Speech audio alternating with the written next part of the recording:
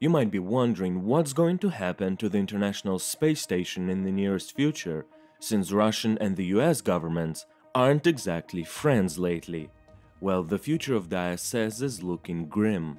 Roscosmos, the Russian space agency, has already raised doubts about its future involvement, adding new uncertainty as NASA makes plans to start winding down the research facility. And talking about keeping space away from politics, Russia just decided to stop supplying rocket engines to the United States in retaliation for its sanctions against Russia over Ukraine.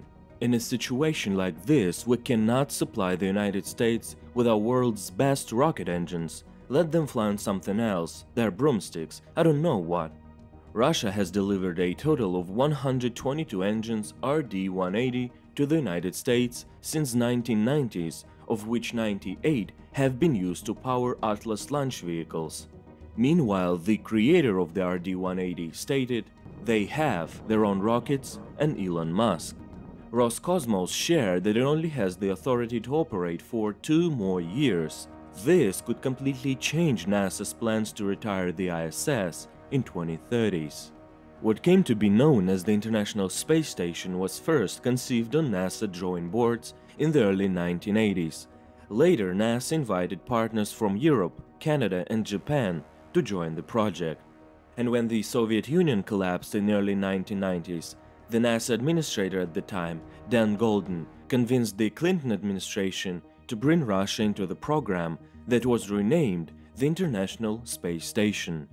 By 1998, just prior to the launch of the first modules, Russia, the US and the other international partners of the ISS entered into memorandums of understanding that spelled out how major decisions would be made and what kind of control each nation would have over various parts of the station.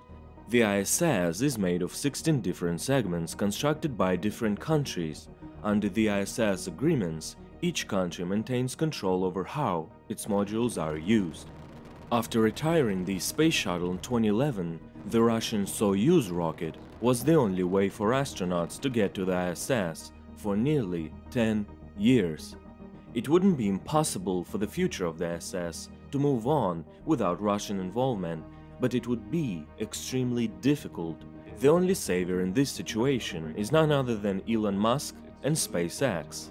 Garbage with which our talented businessmen have polluted the near-Earth orbit is produced exclusively by the engines of the Russian Progress MS cargo ships. If you block cooperation with us, who will save the ISS from an uncontrolled deorbit and fall into the territory of the United States or Europe? SpaceX. With the company already ferrying astronauts to and from the International Space Station using Dragon spacecraft, and reducing NASA's dependence on Russian Soyuz rides, it seems more possible than ever that SpaceX could fully replace the need for Russia's Soyuz capsule. Dragon spacecraft has already proven to be an effective alternative to the Russian Soyuz spacecraft. NASA has awarded SpaceX contracts for three more Crew Dragon trips to ISS, which brings the total number of the crewed mission from 6 to 9, including the 3 successful operational trips from the last two years. If SpaceX was to step in, it could remove some of the concerns currently surrounding the station's future. So Elon Musk is our only hope? Well, let's not forget about the possibility of a revolution and a change of government in Russia in the next few years or even months, as the tension inside the country is rising. But for now, we'll have to simply wait and see how communication between NASA and Roscosmos proceeds. Thank you for watching, make sure to subscribe and don't forget to check our other videos.